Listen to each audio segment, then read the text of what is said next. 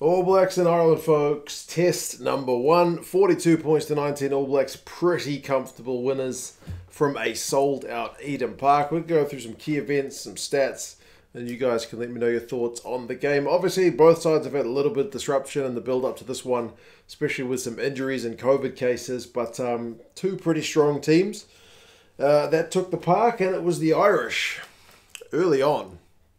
It felt like this game was in Dublin rather than Auckland, even though, as I said, sold out Eden Park.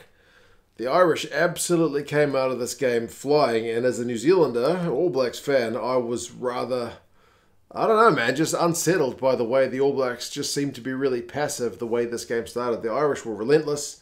Not surprisingly, they get the first try, and it was like 17 plus phases in the, the build up to it. I mean, the experienced Keith Earls is the guy who finishes it off. He manages to beat Jordie Barrett one on one, but it's all the um, carries over the advantage line in the build up. Sheehan and a lot of other guys, um, plus Gibson Park with his service, just absolutely, um, you know, pushing forward. And then when the advantage comes, uh, you get it to Sexton and they get it wide. So well worked Irish try early. They missed the conversion, but it's a five points to nil lead. And if you're going to get a win at Eden Park where nobody has got a win against the All Blacks since like the 90s, it's the kind of start you need to have. The misconversion's a little bit unfortunate because I do feel like to beat the All Blacks there, you need to be taking all the chances you can get. So it's a missed two points, but still, it's a really good start. It gets better. I don't know if it's better, but it, it continues on well. When Ringrose is like putting a big hit on uh, Sam Cane, it's honestly all Ireland until maybe like a couple of events. The All Blacks win a scrum penalty, and it's a good, encouraging one for the All Blacks front row because they were maybe not that fancied up against the Irish, you know, props of like Furlong and Porter, but I feel like the All Blacks front row did pretty well uh, in this game. And then when the Irish are still on the attack, Beauden Barrett is able to kind of pick the pocket of uh, Gibson Park, who's on the attack. I think it was him. Um, to kind of just shut the attack down. And from there, the momentum kind of seems to swing the other way.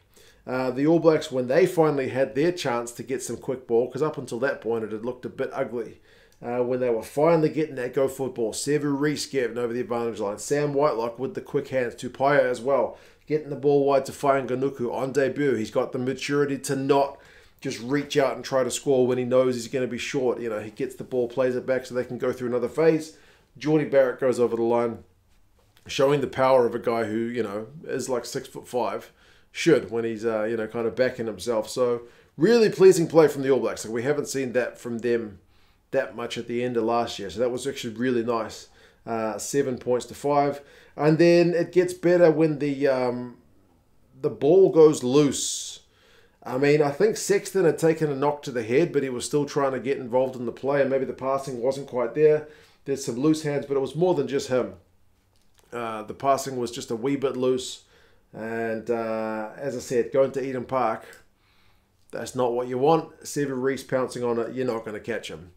It's going to take a pretty quick person to catch Reece. I mean, they gave it a crack. Marnie and Sheehan and whatnot were chasing him down to the end of the end goal, but uh, not to be caught. So that's one that I think the Irish, when they do their match review on Monday, will be um, will be pretty dissatisfied with. So it's 14-5 to the All Blacks. Sexton goes off to have an HIA. He doesn't pass.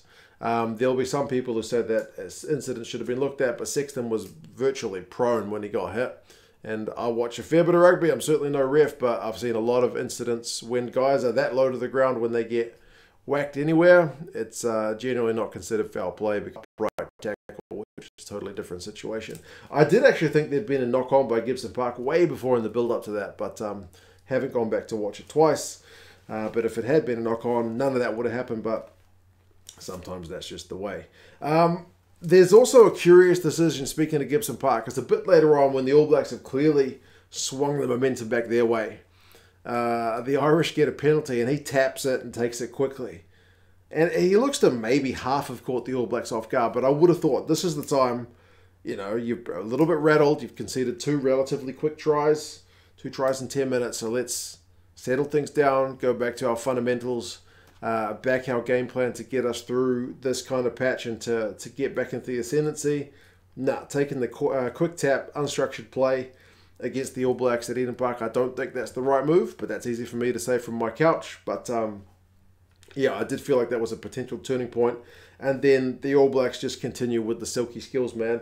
Um, Tupaea gets a try on 36 minutes. Beauden Barrett with a nice little grubber kick through. These guys don't even play for the same club team. So the fact that they had that kind of perfect timing was uh, you know was a testament to both their skill levels. They had to check it if he was offside because it was that close, but it was it was bang on. And uh, yeah, suddenly the All Blacks are 21-5 up. And then Savea scores kind of a crazy one where Aaron Smith, with advantage, has a wee snipe. There's nobody home. He chips it over the top. Nobody can gather it. And then Savea just kind of pounces on it. Um, good reflexes from him to be able to do that, and good for Aaron Smith to kind of back himself because we haven't seen him running the ball really at all up until that point. He's been certainly firing away the quick distribution, which is getting the All Blacks the quick forward, uh, go forward ball in the back of the effort of his forwards. But um, yeah, he set that one up pretty nicely. So they go into the sheds 28 5 down the Irish, and the halftime, they probably needed it to come five minutes earlier, to be honest, because uh, yeah, they conceded a couple of tries in the last five minutes of that half. It all started so well. Um, the Irish have got a bit more possession, but less territory in that first half. Clean breaks is four to one to the All Blacks. Uh, the penalty count's actually remarkably Lowe. It's only two to three uh, at half time. Second half, again, the Irish start really well. So, like whatever Andy Farrell said to the boys at halftime seemed to have an effect. They're able to go through those phases again, and they get some reward for it, man. Um, low with the offload to Ringrose. And uh, suddenly it's looking a bit healthier. 28 12. That's still a heck of a comeback that needs to be mounted. But that's the start. That's one step in the right direction. Um, but then the All Blacks, I, I get the feeling they're clearly in a mood for um, you know for a, for a fairly decent when they're backing themselves at this point. They're not looking to opt for threes. They get a penalty. They opt for touch. And interestingly, that all comes from uh, a missed Irish liner a wee bit earlier. So it's like they had the momentum. The Irish had a penalty. They kicked for touch. They missed the liner. I was like, again, at Eden Park, you need to be taking the majority of your chances. If you're missing lineouts, yeah, you're going to play into the All Blacks' hands. So, um, yeah, the All Blacks able to kind of capitalise, not immediately, but a few minutes later. Ardie Savea, a bit of individual brilliance, beats three defenders. I think Ringrose is the, the main one but there's a couple of other guys who attempt to tackle him, can't bring him down. That's that one in the review on Monday is going to look pretty bad from an Irish point of view. You can't be letting. I mean, Ardie Savea is a world class player. There's still arguments here in New Zealand about what his best position is, but you can't be letting him score like that. He clearly enjoyed it.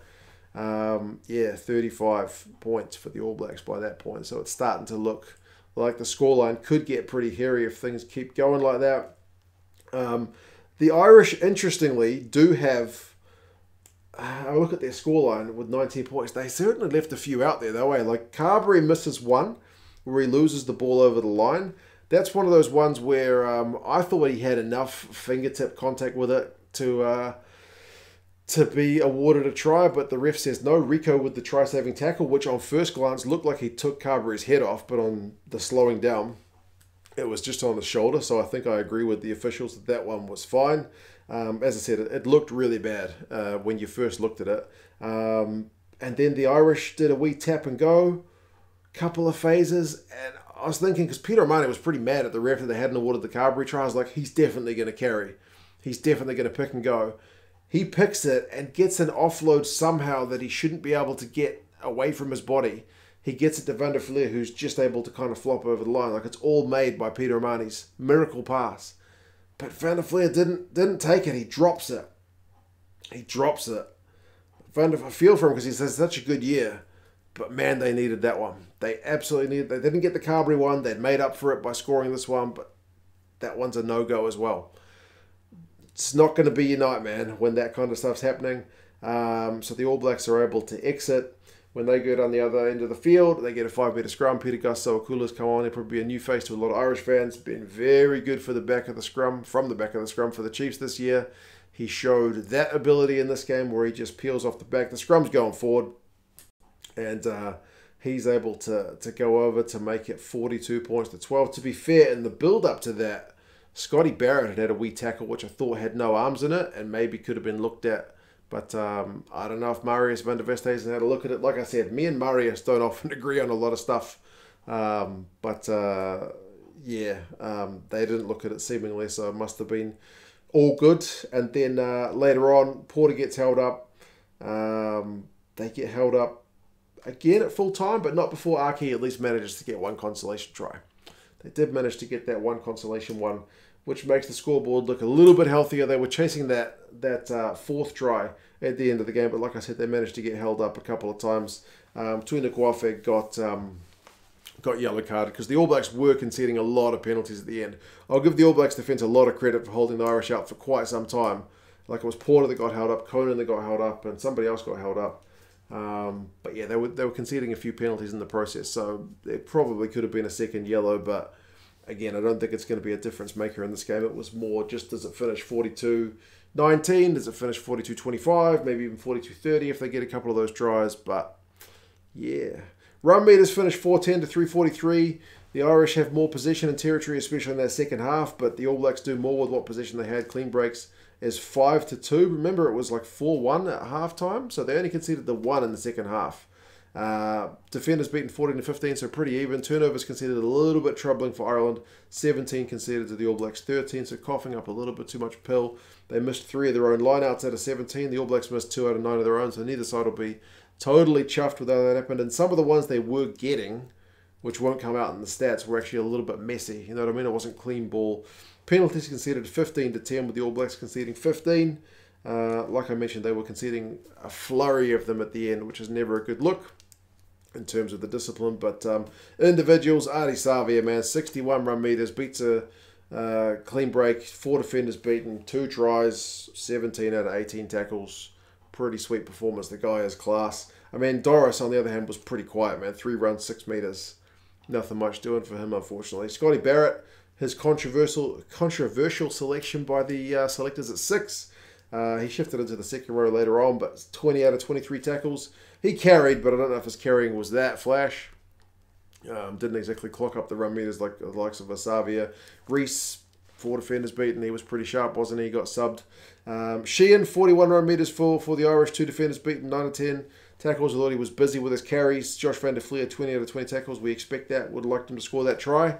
But um, yeah, ultimately, it's a pretty good win for the All Blacks. And. Uh, yeah, we look forward to seeing what happens in the remaining games of the tour. Remember, there is still one more game against the Māori All Blacks.